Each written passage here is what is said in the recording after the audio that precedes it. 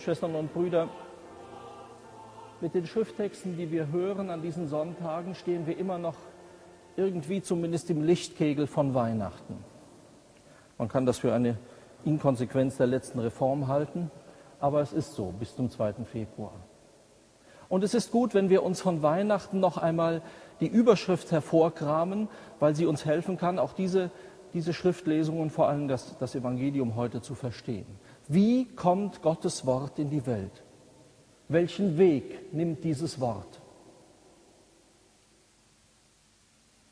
Vielleicht haben Sie zuerst gedacht, als ich begann, das Evangelium zu lesen, jetzt hat er sich an der Seite vertan, weil das ist so ganz komisch, der Beginn. Das beginnt, es gibt keine weitere Stelle, keine Sätze, die in den vier Evangelien so merkwürdig klingen wie der sogenannte Prolog des Lukas-Evangeliums, wo Lukas eine Empfehlung schreibt. Es gehört dazu, wenn wir den Weg des Wortes Gottes in diese Welt verfolgen, wenn wir von Inkarnation sprechen, das, was wir an Weihnachten hörten, dass Gottes Wort Fleisch wird, dass es sich in die Welt hineinbeugt und sich diesem Leben unterzieht und unterwirft, dann ist es gut, wenn wir Lukas noch einmal richtig zuhören. Lukas stellt sich vor als ein Historiker. Das ist für die Frommen, vielleicht auch unter uns, anstößig. Sie sagen, das geht doch gar nicht. Das, ist da, das kann ja nicht so ein historischer Text sein wie alle anderen. Das ist doch Wort Gottes. Wie soll das denn zusammengehen?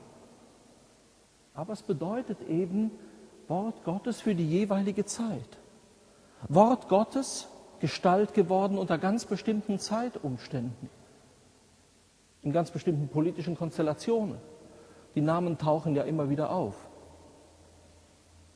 Die anderen unterstellen Lukas, naja, Historiker ist er irgendwie nicht. Kann er gar nicht sein. Denn der schreibt ja tendenziös. Der will das Christentum ja schließlich anpreisen. Macht ja gar keinen Hehl daraus am Anfang seines Evangeliums, denn er schreibt auch noch, und das macht ihn ganz verdächtig, schreibt offenbar ein Auftragswerk für eine Exzellenz Theophilus, wie sie hier im Text genannt wird. Das ist ja ganz merkwürdig. Kann man so einem überhaupt Glauben schenken? Genau in diesem Spannungsfeld der beiden Extreme bewegen wir uns und haben beides ernst zu nehmen. Lukas will als Historiker wahrgenommen werden. Und es gibt zwei Worte, die uns das ganz deutlich machen. Eines zumindest kennen wir als Fremdwort. Akribos, sagt er von sich. Ganz akribisch ist ein Ruf, der ihm bis heute geblieben ist. Offenbar so ein bisschen pedantisch vielleicht. Ganz akribisch bin ich allem nachgegangen, von Grund auf, sagt er. Ich wollte es ganz genau wissen.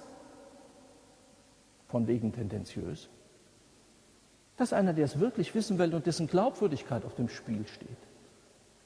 Akribie und das zweite Stichwort, Katexes, Ordnung. Ich will es alles der Reihe nach geordnet will ich es vorbringen, damit du, lieber Theophilus, es verstehen kannst. Sie fragen vielleicht zu Recht, was hat das denn mit uns zu tun? Soll der Theophilus es doch gelesen haben von mir aus? Ist ja vielleicht ganz schön, vielleicht hatte der Spaß dran. Aber wir?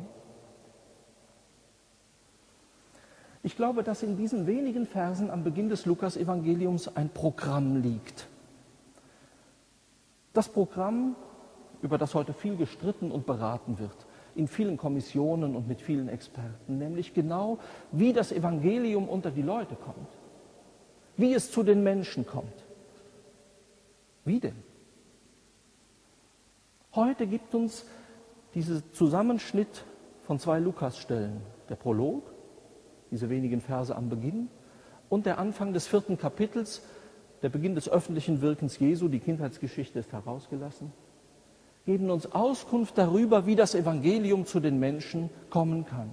Wie auch heute das Wort Gottes seinen Weg in diese Welt, in diese Zeit unter uns nimmt. Und zwar in Form und in Inhalt. Von der Form spricht der Prolog. Es muss akribisch sein. Es muss der Ordnung entsprechen. Und wenn Lukas von Akribie und Ordnung spricht, meint er nicht irgendwelche deutschen Primär- oder Sekundärtugenden, sondern der Ordnung, wenn man so will, der Offenbarung, der Ordnung des Evangeliums, die direkt hinweist, es gehört immer beides zusammen, auf den Inhalt dessen, was gesagt wird. Und ein drittes, Respekt.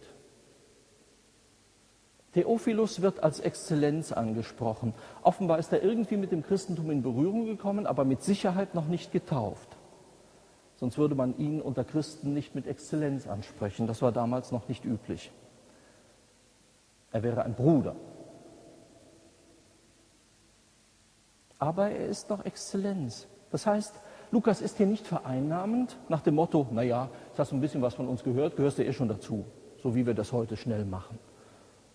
Viele Menschen schrecken deshalb vor uns zurück, gehen nach einem ersten Schritt des Zugehens wieder drei Schritte zurück, weil wir sie vereinnahmen. Das gehört sich nicht nach dem Evangelium hier. Das Erste in der Begegnung mit Menschen, die von außen auf uns zugehen, irgendwie eine Ahnung haben, auf der Suche sind, das Erste muss sein Respekt. Das Zweite, die Ordnung, dass wir ihnen nicht irgendetwas erzählen. Schauen Sie ja mal die Programme katholischer Erwachsenenbildung an. Da finden Sie viel irgendetwas. Wenig Evangelium, ganz wenig. Vielleicht noch so eine ferne Erinnerung an Heilige Schrift. Sie finden Bachblüten, Sie finden viel Gestalttherapie, alles Mögliche. Darf ja alles sein. Aber die Prioritäten müssen stimmen. Das, was Lukas hier mit Ordnung meint am Beginn seines Evangeliums, ist, dass er dem Theophilus nicht irgendwas erzählt, was vielleicht auch nett ist, sondern das, was der sogenannten Heilsordnung entspricht. Wie Gott sich offenbart, wie er sich zeigt, wie er spricht in der Geschichte dieses Jesus von Nazareth.